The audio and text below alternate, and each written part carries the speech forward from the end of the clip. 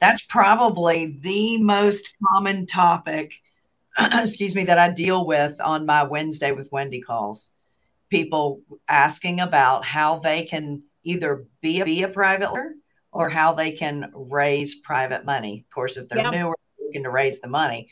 But if if they've been investing a while, their question is always about how can I lend money too? And, and, and some people, it isn't even on their radar. They just happen to have a couple hundred thousand dollars in a 401k, whether it's self directed or not. And I, I, do everything I can to, to say, listen, you need to. Uh, you you need to be investing that money in other um, rehabbers and other fix and flips. You, you don't want to own the house. You want to lend the money. It's so much easier. The time frame is crazy. I, I was going to mention uh, a friend of ours, Wayne Schaefer, who is a oh yeah a wholesaler, fix and flip. He also does uh, a lot of uh, turnkey yes. and, and rental stuff. He did a presentation on the hourly rate from the flipper to the attorney to the real estate agent. real estate agent and then the the private lender and the private lender had well based on the per hour. Yeah. it was like five thousand dollars an hour on wow. this he made the most money as the flipper but he was down to like what $120 yeah, an hour? Yeah it was a maybe big, big difference. So yeah, yeah. Kudos very eye-opening so are you are you 100% a lender at this point or are you still doing some fix and flip? No, we do other stuff. So I have two flipping companies in Pennsylvania that I run remotely. So I have partners in those now, so I'm not super involved. I probably work about 5 hours a week in the flipping business.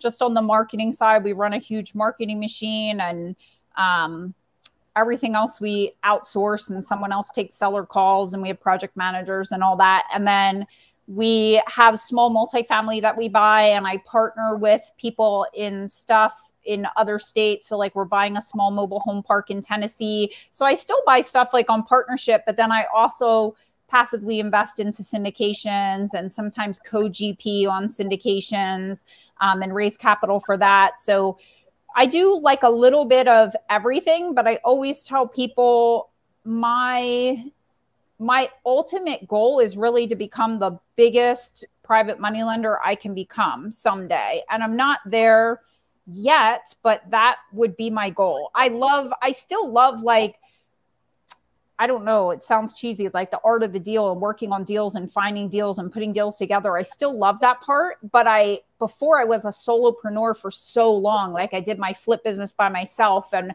bought rentals by myself. And now I don't do that anymore. I'm like, I'm either going to partner like one, two, or three people or syndicate, or if I'm going to like own an asset. I just see so much more benefit and so much more cash flow and less stress for me in stuff that I'm either passively investing in or I'm partnered on.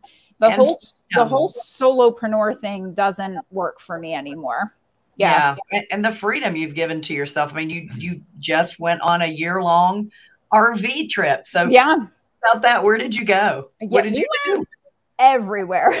So my husband and I, when I retired at 35, I say retired to work in real estate full time, I was like, if I'm not snowbirding because I'm from Pennsylvania, if I'm not a snowbird somewhere by the time I'm 40, this is all for naught. Like I'm going to be so mad at myself. So when we were 39, we started snowbirding to Arizona in our RV. So three months a year, we drive from Pennsylvania to Arizona, live there for three months, and then drive back and just skip the winter. It was amazing. And then last year, my son turned 26 and he bought his own house.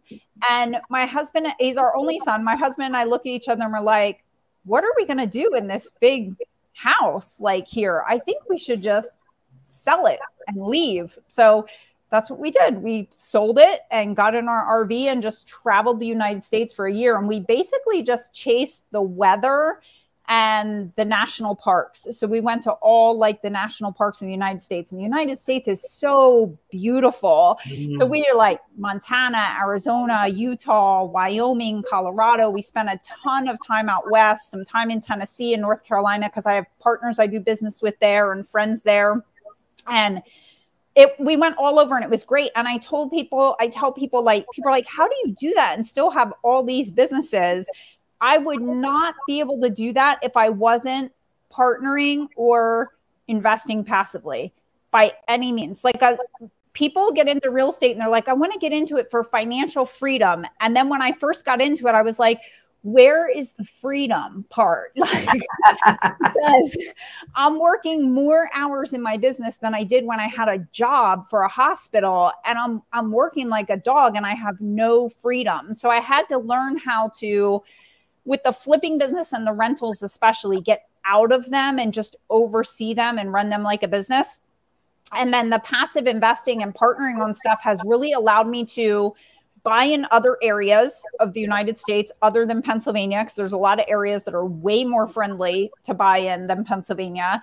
Um, so it has allowed me to do that and just have more freedom, like personal freedom, or not chained to a desk. And I tell people in your business, you should just leave your business for three months and that will tell you how involved you are in it. Like when we started snowbirding, we went away for three months and we snowbird, we were snowbirds for three years before we hit the road full time.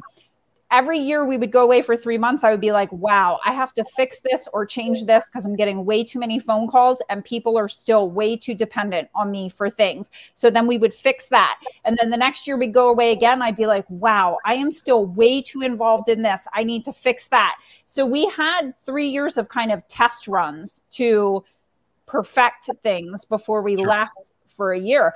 But I'm like, what happens to you if, if something happens to you tomorrow? Who's going to step in? Um, you shouldn't be like the only person that knows about your business and can run your business. We all get into this to spend more time with our family and have more freedom. And what happens is you get into it and you spend less time with your family and have less freedom. And that was just frustrating me. So I had to like find coaches that could help me get out of that. I was basically just like, I want to grow wealth. I want to help people do the same thing, but I don't want to do it in the way I'm doing it now because it's all on me right now. Yeah. So.